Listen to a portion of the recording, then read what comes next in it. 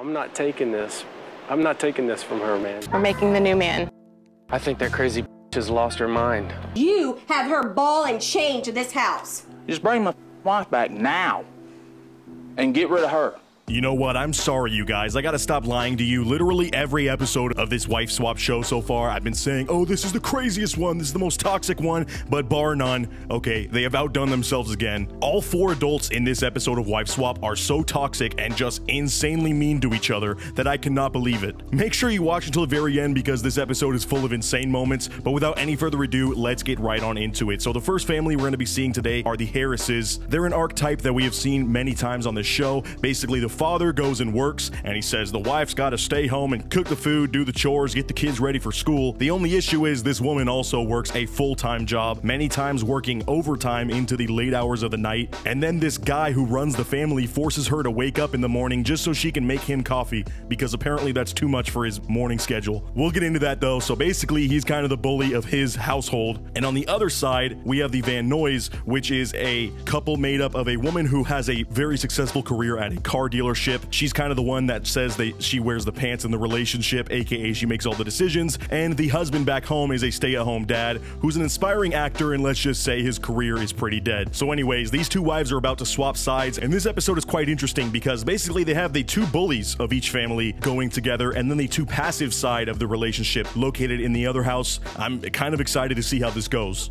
We don't agree with mothers who choose to have a career instead of being full-time moms. You guys have got to be joking. In my opinion, a man, they work full time or more than full time. So there you just saw the Van Noy mother who is reading the Harris's guidebook, and basically it's just full of old school BS mentality when it comes to relationships. The guy should be the one who goes and does the hard work and everything. And even the wife of this Harris family at the other house repeats that same sentiment. But the thing I have to mention to you guys that they talk about in the intro here, this lady who just said the man is the one who should be working full time if not more, is working full time if not more on a real job herself. She's a transcriptionist for a hospital or something like that. Basically, she's typing out transcripts of audio recordings they took or videos. And they said sometimes she's working until 3 or 4 a.m., having to crunch, as well as do all the chores around the house, do the grocery shopping, do the laundry, anything that involves their family, she has to be in charge of. So it's kind of insane she's been brainwashed into thinking that the guy is supposed to do that, yet she doesn't look in the freaking mirror and, and realize she's having to do the same stuff. I expect the house to be clean when I get home. If the house looks crappy, I can be a b- He's a lazy, slob, male, chauvinist pig. and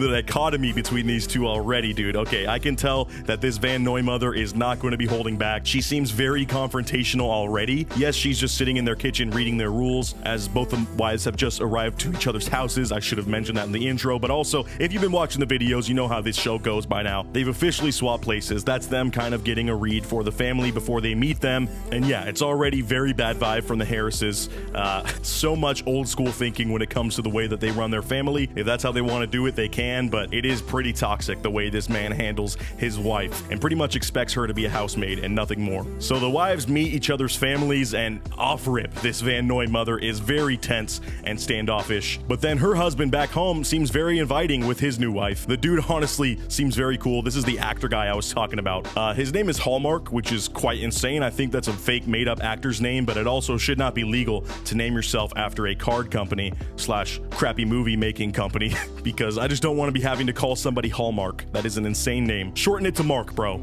She just reminds me of an old friend, and she seems really warm and friendly and sweet and very real and very genuine. So, you know, I couldn't be more pleased. See, like literally Hallmark is just, I want to say he's a Hallmark guy, but he really is just a kind soul in the intro, at least here so far. Meanwhile, the other Harris stat is like, yeah, she kind of stands her own ground, and I'm not used to a woman, you know, disobeying what I say, so I'm going to have to get used to that. She's going to be piping up left and right, I'm sure, just like a total jerk. The difference between these dads is insane so far. So then the first day happens, and this Harris wife is going to a job at a actual location for the first time in a long time. Again, she works from home, she does have a job, job, but she's not used to going somewhere where her whole family is not needing, you know, to be bathed and everything throughout the day. And she's just repeating these annoying, toxic viewpoints that you know she just inherited from either her family or her husband. But she's like, I don't know why she leaves her house and leaves her daughter, you know, even though, yeah, she's at school and everything. I think she should be at home making food and stuff, being in the kitchen.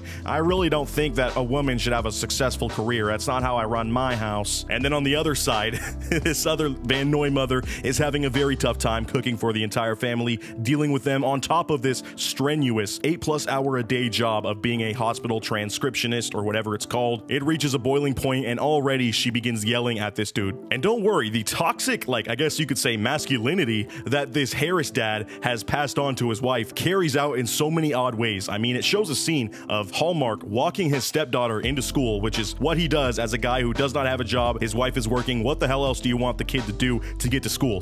Somebody's got to take them. But this lady brings up the most toxic point. She's seeing them walk in and she turns it into a creepy thing. She's like, Yeah, where I'm from, the mothers drop off the kids at school. And it's kind of weird to see him doing this, and it just kind of gives off a creepy vibe. Like, first of all, screw you for insinuating that. That's very weird. And second of all, what about the kids out there that don't have a mother? Or maybe they have two dads? Like, it's just such an ignorant viewpoint. Already, I dislike this mother and the Harris family. They have very old school thoughts.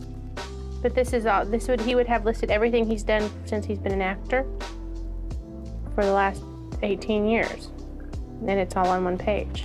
So then, as if her new job wasn't enough, this Karen mother, who is, you know, of the Harris family, I'm just gonna call her the Karen mom because she is. You can tell so far. What you just saw her doing at work is going through Hallmark's acting file. I have no idea why the producers gave this to her, but maybe she asked for information on his acting career because, again, he works from home, is kind of in between roles, he says. And she looks at it for the past 18 years, this man has not had many roles except for being an extra in shows. So to her, she literally thinks that he is the biggest loser now because he doesn't doesn't work a job, let alone a manual labor job like her husband who does construction, she literally sees him as less than a man. It's actually insane. The disdain this woman has for anybody who lives a lifestyle outside of her own is ridiculous. And then when she gets home, she pretty much bullies this guy and tells him to his face that his acting career is going nowhere, he's disappointing his family, and that he's not a true man for not working a manual labor job. She actually says the words manual labor job, as if implying that if he did go out and become a successful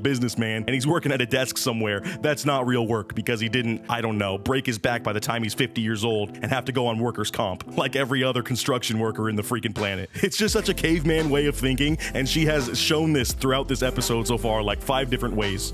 Okay, well then, why is she doing two full-time jobs? Because it takes her seven hours to finish the transcription. She chose to do two jobs. She wants to do two jobs. She wants to Why don't kid. you help her? And as you can see, things are popping off at the Harris household. I gotta say, I, I agree with this woman. I see why she's so angry. This guy really does act like a chauvinist pig. He thinks his wife is just there to take care of the house. We've been over that. But the way that she's delivering this message is not effective. She's immediately starting to scream. And this guy seems like the type of guy where if you scream at him in general, he's not gonna wanna interact with you, especially if you are somebody he just met and you're screaming at him in his face. Like, you can repeat these things a little bit nicer. And I think that's this lady's main problem. She's very mean already, like off rip. I don't know if she has previous biases. Maybe she thinks he's a redneck or something, but she's being very aggressive in the way that she's like yelling at this guy to stop treating his wife poorly. And again, I agree with her message. I just think she could be nicer about it.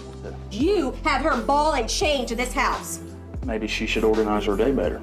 No, Jimmy. Maybe you should lighten up and start treating her like a person and knocking employee. And dude, she's just shouting. I don't know if the kids are home, but like if they are, there's no need for this. This is already an insane thing for these kids to go through being on this show, and now they got to be in this toxic environment. I'm saying this as somebody who had people yelling in his household growing up 24/7. It is trash to be in that environment. So hopefully the kids are at school right now. But like I said, she's she's just very mean in the way that she's going about this. And if you're to be butting heads with somebody, you want to at least try to remain cordial when you're speaking to them if you want your message to go through at all. Otherwise, this dude's just going to get pissed off and be like, "What does she know? She comes in my house and thinks she knows everything. She should be making me dinner right now." That type of backwoods redneck philosophy is absolute. I'm really looking forward to changing the rules tomorrow because Jimmy needs to wake up. And yeah, like I said, I think she kind of sees this guy as being some redneck hillbilly, which, yes, he might be just an average dude who's working construction, pretty dumb, and has some old school morals, but you can still treat him like a human. I think that's, you know, something that we should try to be doing with everybody. She then goes on a little rant in her little interview room talking about how she can't wait to change the rules, and this is where I see red flags left and right in this show. As soon as the people start to be like really excited to make the other person's life a living hell the next week, it seems like you kind of lose the plot of the show. You're supposed to be bringing new qualities to each family, not having a competition of who can make each other more miserable in the week that they have control. So anyways, this first week is done. It's full of a lot of fighting, as you saw. Now it's time for the rule change. As for the Harris mother in the Van Noy household, she tells this actor dude that his acting career is over. He's gonna go work some full-time jobs, and she doesn't even let him choose what type of full-time job. She has a line of manual labor jobs lined up for him. if that isn't the most idiotic thing, I mean, obviously this dude's not gonna do well on a construction site when he's just been a stay-at-home dad, failing actor his entire life. And of no surprise, the Van Noy mother tells the Harris father that he has to stay at home.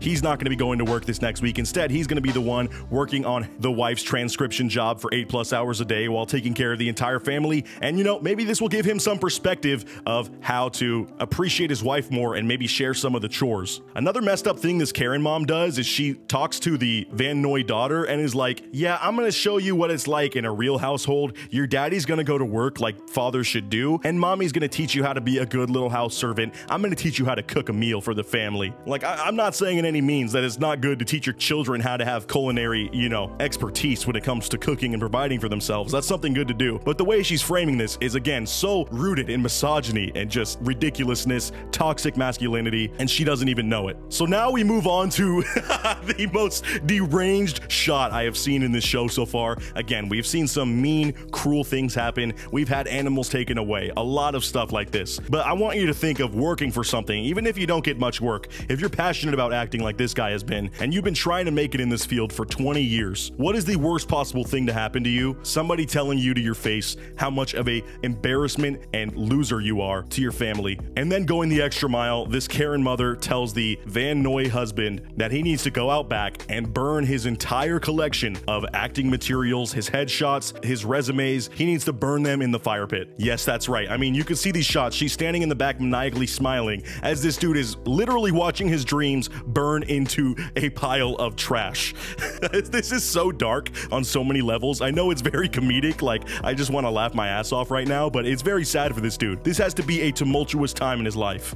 So that's right, it's time for this dude to go head out for his first construction job, and this Karen mother got her best wishes. She finally gets to take the kids to school, which is what a mother has to do. Of course, you're just not a good mother if you let your husband help out sometimes and take your kids off to freaking school in case you need to do something in the morning. God forbid. But it's really funny this episode so far. The two passive people have been pretty much in a constant fight over who gets to stay home and take care of the kids and do housework because that's what they think they're destined and supposed to do. And then on the other side, you have the two aggressive people trying to control who has to stay home because they both don't want to freaking do it. Jimmy, clean the shower And man, the mean streak continues with this Van Noy mother. I don't know why she's so freaking angry and mean. Yes, I understand. It's frustrating to see a man act this way. But the dude is doing it. Like he's over there sitting trying to do the transcription job, and this lady is just laying on the couch, going out of her way to really egg him on and yell at him like, "Are you doing it fast enough? Are you typing?" Which also, this is a guy who's been working construction his whole life. I mean, look at this dude. You could tell he's one of those dudes who just has one finger on each key going, you know, piece by piece like, "Okay, uh, type typing at three words per minute. He's not going to be very fast at this transcription stuff. Yet he's getting whined at, and he actually has to leave the house to cool off because this lady is just screaming at him for no reason. In a different setting, I would force him to do it or I would fire him. And Dawn needs to either force him to do it or get rid of him. And I mean, this mentality is just so stupid. Like I said, everybody in this episode so far has been so toxic that you can tell this lady has such bad control issues. I have no idea what's going on in her life, but she seems desperate to have some control over everybody in her family. I mean, she literally walks over this acting husband of hers. I think it's because he understands he gets to have a roof over his head without working, so he kind of, you know, goes along with the constant trash talking and commanding and demanding of things. But she really bullies this guy. And they've only been together for eight months, by the way. That's another point I just wanted to, to get out there. I don't know how compatible this relationship is, and I would not be surprised if after this episode we look it up and they've been divorced. They didn't really eat breakfast. They piddled at their cereal Zach didn't eat at all, and that's not really what you want. And this lady's hate streak just continues. So it's the first day of the dad having to get the kids ready for school. He does his best making them breakfast. He gets them in the car on time and he's getting them to school, getting them all dressed up. And she's just sitting there hating. Like, you literally can't win with some of these parents. It just shows how sad mentally some of these families are on this show. It's very frustrating to watch. You're so immature. And there's actually kind of a sad moment where this dad cries as he realizes how much he misses as a result of working so much and working these jobs where he just doesn't have the opportunity to take his kids to school and to see these memories. So maybe we're seeing a shift in this man throughout this episode, hopefully, because I, I need to see some family improve at the end of this instead of all four of these toxic people just making each other pissed off the entire time.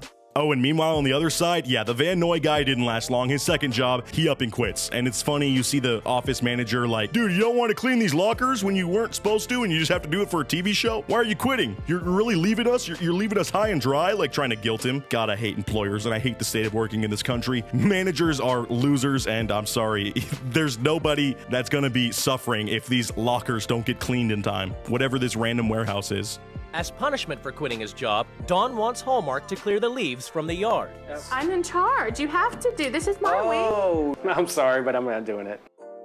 it just immediately cuts to him raking up the leaves right after he said he wasn't going to do it. But that's right. This dude gets punished in the backyard once again. In the same field where he had to burn his dreams down into dust, he now has to clean up the leaves after quitting his job because a real man has to do something physically painful throughout the day that he doesn't want to do, or else he ain't a real man. Raise some questions in, in my relationship with my wife. The whole thing has got to be changed for the better, or I can't see spending my life the same way. And apparently, him getting bossed around, this actor dude, has really opened his eyes to how much he dislikes being kind of verbally abused like this. So he's realizing that this relationship cannot continue with his new wife if things don't change. We might actually be seeing the first result of this show being a divorce like immediately. That is insane, dude. But I feel bad for the dude. Hopefully, this shows that he needs to stand up for himself a little bit more. It seems to me that we're both sort of looking for the same kind of an answer Right. or the same kind of a change in our in our um, our Marriages. mates. And it sounds like both of them, both of the passive people in these couples, realize they're kind of being walked all over in this relationship, and it is not 50 50 like the other partner wants them to believe. Hopefully, this means they'll stand up for themselves. And I think this is something that if you're in a relationship or you've been in a relationship like this in the past, you understand this is a tough thing to do to actually stand up for yourself and set some boundaries and advocate for yourself. But that really is self care. That's like a bit of focus on me in my life outside of YouTube recently, just trying to focus on me and setting boundaries with people. It feels very awkward at first when you're a pushover like me, but trust me, it's for the best. You've showed me how to love my family more. Really? Aww. I just want you to know you'll be a friend. You know, forever.